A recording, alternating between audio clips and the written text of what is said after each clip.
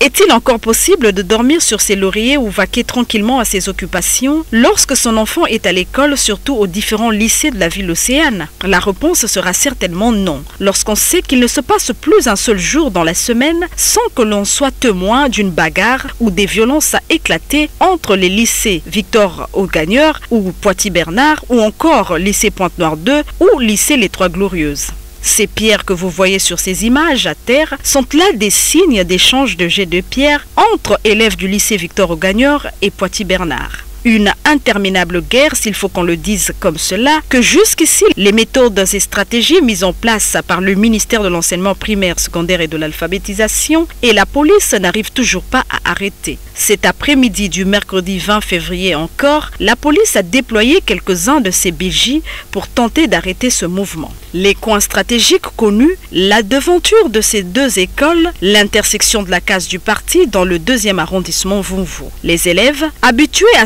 exercice qui est devenu comme une simulation